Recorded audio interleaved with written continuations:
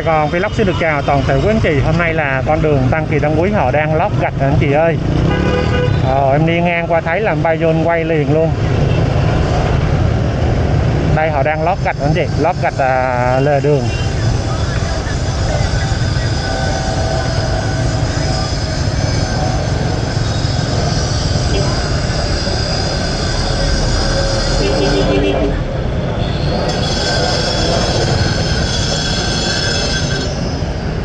Và đang lót gạch lề đường anh chị ha.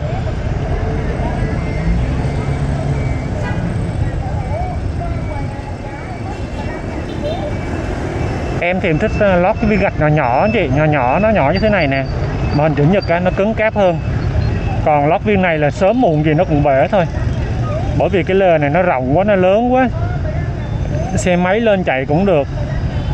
Mà xe ba gác nó lên đây cũng được luôn ví dụ như cái lề nó nhỏ nhỏ, xe bê gác nông lên, cái lề đường này nó rộng, nó lớn quá. Với lại là sau này đường này họ làm cao nè. Không? Xe ba gác rồi, chở hàng rồi, dê lên, dê xuống.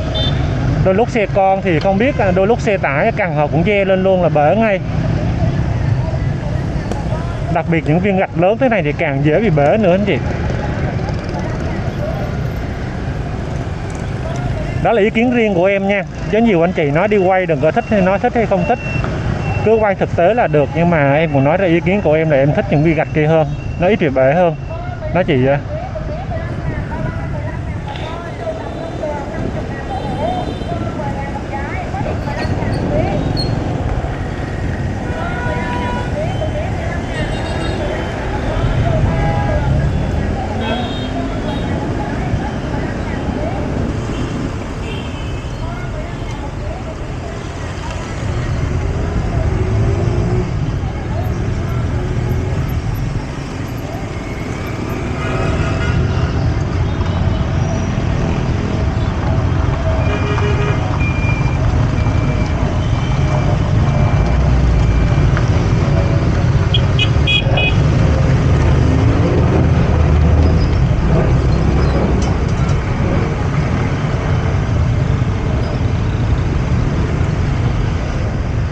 bên ngoài đây thì họ chừa một cái à, đường để trồng cây nữa anh chị nha. Bên trong lót gạch, bên ngoài chừa một cái đường để trồng bông, trồng hoa, trồng cây gì đó.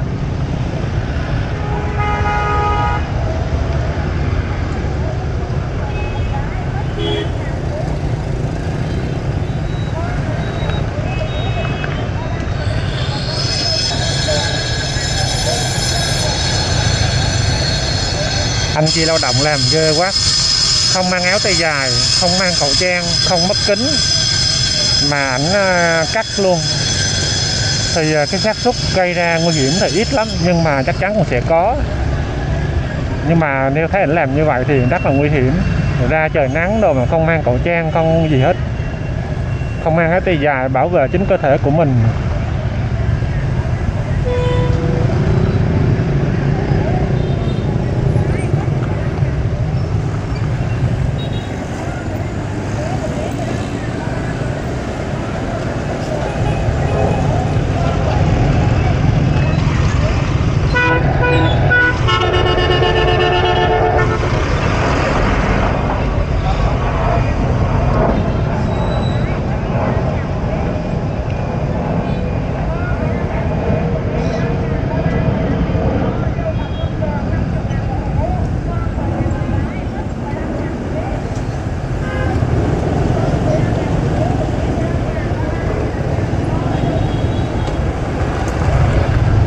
Ở đây có một cái lớp à, bê tông họ đổ trước rồi. Hôm nay họ đổ một lớp hồ lên nữa.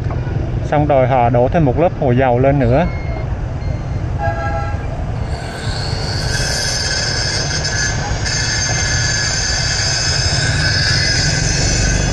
Rồi mình lên phía trên anh chị ơi.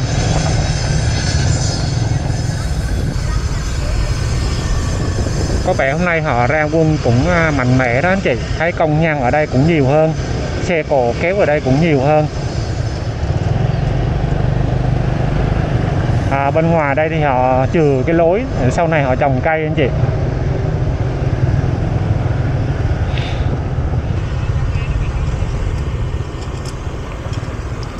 Đây họ đang là đổ này đổ cái đường chỉ á, đổ cái à, đường chỉ cho nó đẹp này. cho nó bằng phẳng cho nó đẹp đây này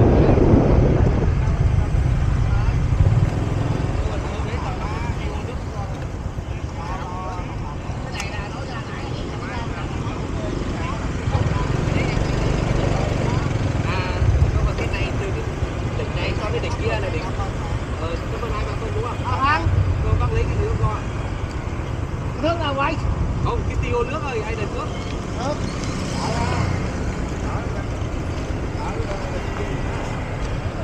mình làm nước ra luôn rồi mà ai trong cái mua tiêu nước thế mình dùng cái mai nó chắc là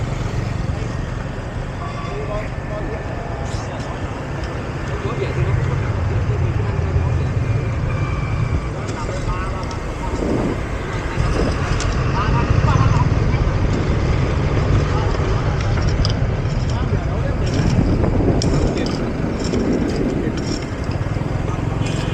chúng ta nói lại cái ở giòn chứ không phải nhưng phải chịu mua nước ăn mày luôn á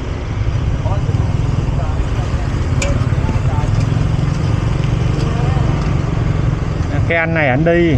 À, cái anh áo áo xi máy ảnh à, ảnh, đi hỏi bên ngoài cao hơn trong mấy phân. Thì bên ngoài phải cao hơn bên trong ba phân. Ảnh hỏi lấy cái gì đo?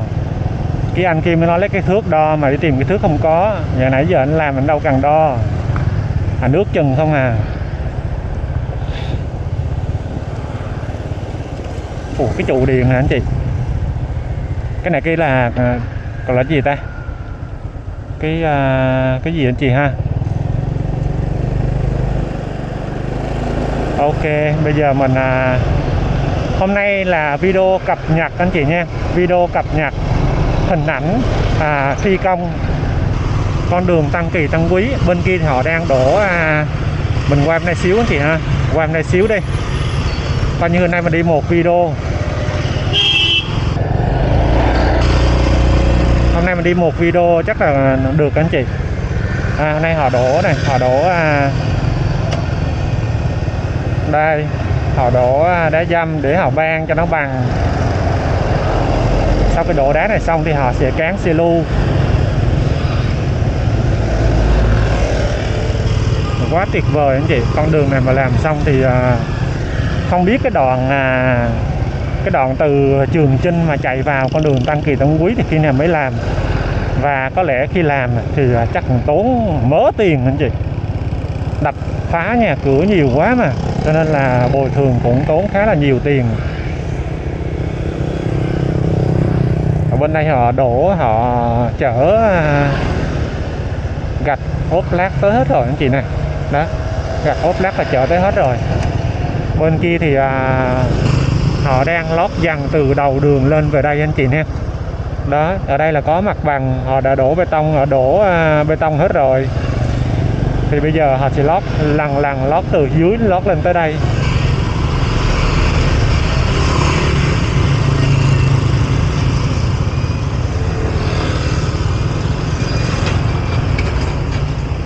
À hôm nay mấy cái trụ điện này vẫn chưa được kéo đi ra cái trụ điện vẫn chưa được kéo đi anh chị. À, với lại là có một cái điều nữa là đường dây điện này họ chưa tháo ra. Và em nghi là do cái mặt bằng ở đây họ mới có được tháng 5 thôi cho nên họ chưa kịp thi công kết nối đường dây điện ngầm dưới lòng đất cho nên là dây điện nhân cao này chưa được tháo ra. Chứ mà đường dây điện ngầm dưới lòng đất họ đi xong rồi họ đưa vào sử dụng rồi thì các đường dây điện trên cao này họ cũng sẽ tháo ra. Đó là em giải thích cho em biết anh chị thấy có hợp lý hay không. Bên kia là họ đang thi công à, nắp cống anh chị. Họ đang thi công à, nắp cống ráp cái nắp cống. Ở đây nên có nhiều đội anh chị ha. Đây có nhiều đội à, đội thi công đường đội làm nắp cống rồi đào là đội làm công thoát nước. Đội à, thì à, à, ốp lát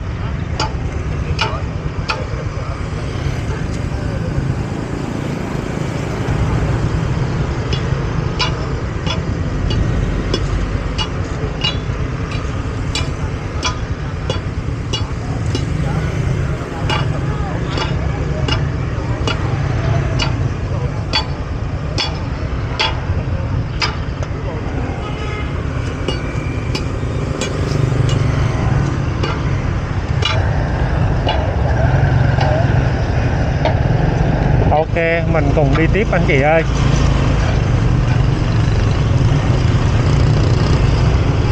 Cái máy em cục pin nó chai nó chai giờ nó còn đâu chấp 20 phút à. Mà cái máy em pin pin theo máy mới đâu chứ, pin theo máy luôn. Bây giờ muốn thay pin phải mở cái máy banh chành ra mới thay được cục pin.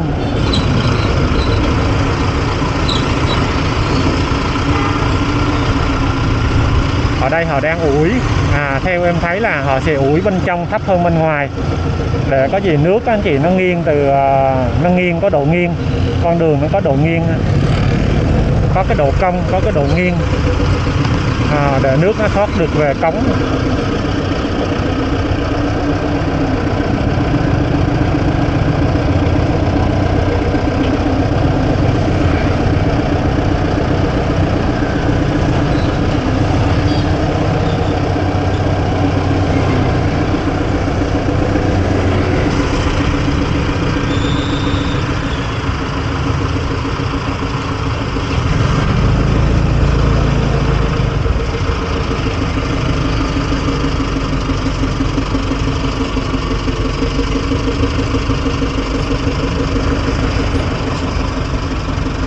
ok của hình ảnh thì à, mình à, cập nhật một tí. Rồi bây giờ chúng ta lên trên đây xem có gì mới hay không. À, theo em nghĩ em nói cái này đó là có lẽ là có một số mặt bằng họ mới kết nối mới trả lại cho quận cho nên là à, bên quận bên à, họ chưa kịp đi đường dây điện rồi anh chị. À, này anh chị đường dây cáp ngầm bây giờ họ mới đi nè. Đó đường dây cáp đường dây à, viễn thông đường dây viễn thông bây giờ bắt đầu đi nè anh chị. Bên đây anh chị nè một số căn nhà họ mới trả mặt bằng thôi. Chính vì vậy mà à, kính thưa các loại dây họ chưa đi được anh chị à cho nên bây giờ hôm nay thì họ à, em thấy là bên viễn thông họ đang làm nè viễn thông họ đang làm. Còn cái bên điện lực thì hôm nay không thấy. Bên kia thì họ tháo hết dây rồi, bởi vì bên kia mặt bằng có đủ trước, cho nên họ thi công hết trước. Bên đây thì họ cũng chiếu, có tới đâu họ làm tới đó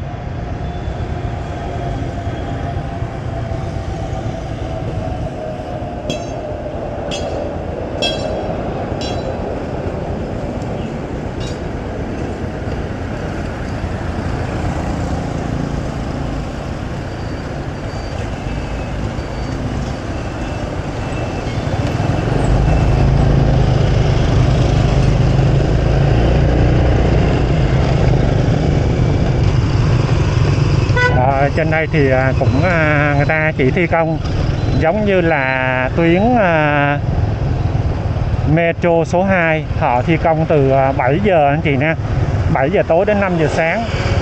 Đó gần sáng là họ phải tiến hành sang lắp à, và rút máy móc về. Bên đây họ đang đi dây luôn anh chị nè. 5 giờ sáng là họ phải tiến hành à, rút máy móc về và trả lại mặt bằng bằng phẳng cho người dân đi cho nên là các cái công trình mà ở trung tâm thành phố nó cũng hạn chế về à, tiến độ thi công rất là nhiều. À bên kia bên kia dây nhợ quá trời nhiều luôn mình qua đó cập nhật coi cái gì bên đó.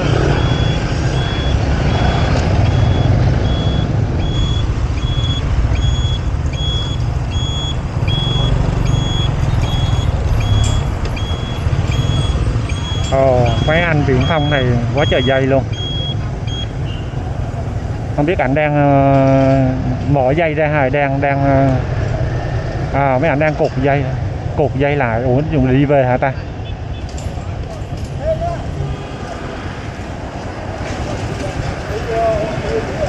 Dưới đây là mấy cái trụ rồi. Viễn thông dây điện quá trời dưới đây anh chị.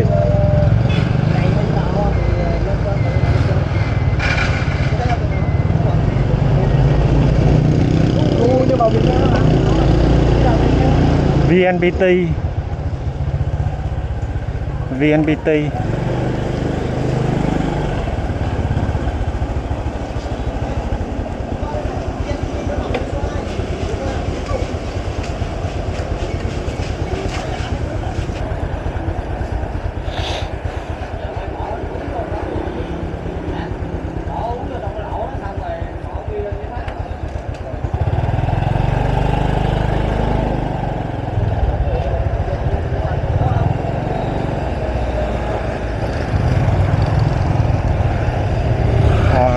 vậy là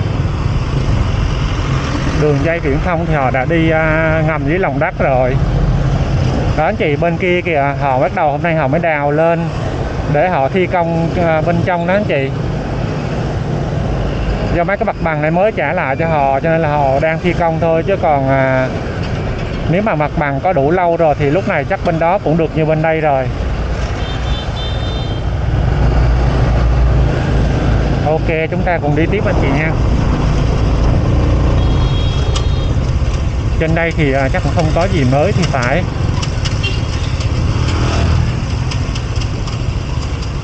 Trên đây thì à, mình không thấy có dấu hiệu thi công trong hôm qua và hôm nay. Tham không thấy có dấu đắp, dấu máy đồ đào lên. Bên đây cống thoát nước rồi thì làm hết rồi, anh chị nè. Ồ, cái dây này.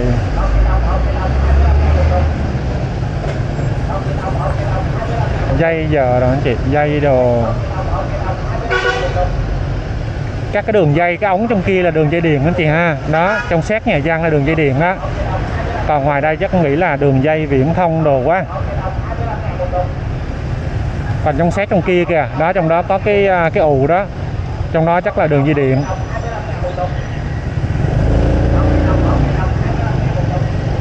Đây nè anh chị không biết đây đây sợi dây điện không? Đây nè anh chị các cái ống nó kéo lên nè.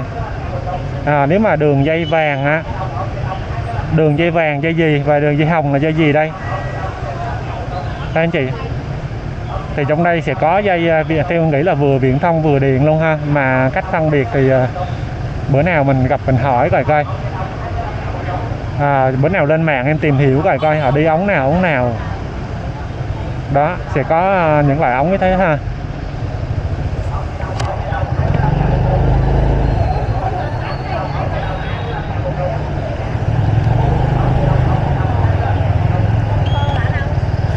Ủa chú chú cho hỏi cái đường dây này là đường dây cáp hay đường dây điện chú?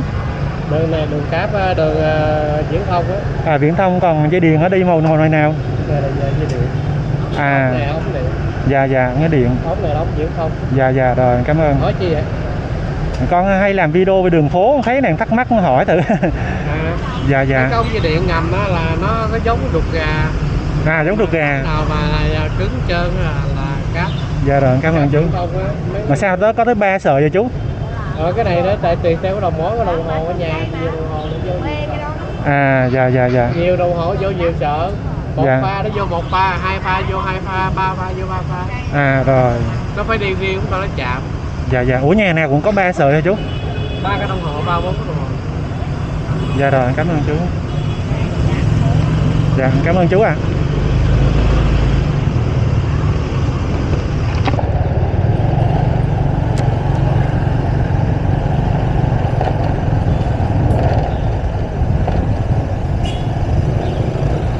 Rồi thì à, đường dây ruột gà, đường dây điện. Còn đường dây màu vàng á, là đường dây viễn thông.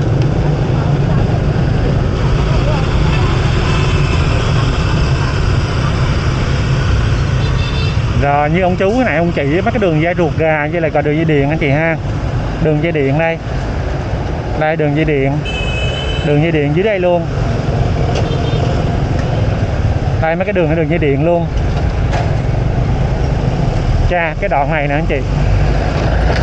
Cái đoạn này nó còn nguyên cái ổ màng nhện. Còn nguyên ổ màng nhện luôn. Rồi video của em chắc là tới đây em gần hết pin rồi anh chị ơi. Em à, chắc là xin kết thúc video tại đây. À, xin gửi lời cảm ơn tới anh chị trước. Và pin còn tới đâu thì mình sẽ quay tới đó. Bên kia thì họ đổ nhựa đường một phần rồi kìa anh chị. Đổ nhựa đường một phần bên đây thì họ mới làm mà cống thoát nước đồ thôi. Nhựa đường thì chưa đổ. Do mặt bằng bên đây nó, hình như là họ cũng mới có đủ thôi, cho nên họ chưa kịp làm hết.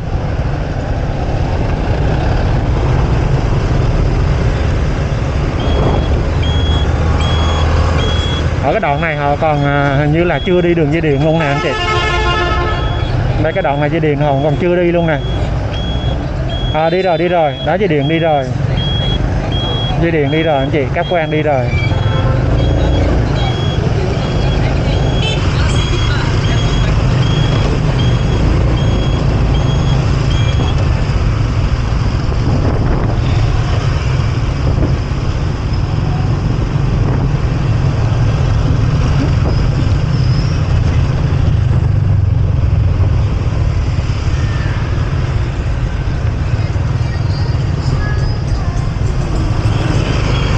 Bây giờ mình chạy về cái hướng là cây cầu Tăng Kỳ Tăng Quý xem. Hồi đó thì họ hôm nay họ thi công không chị ơi? Máy xúc bây giờ cũng nằm im. À bởi vì à, họ chỉ làm việc vào ban đêm thôi.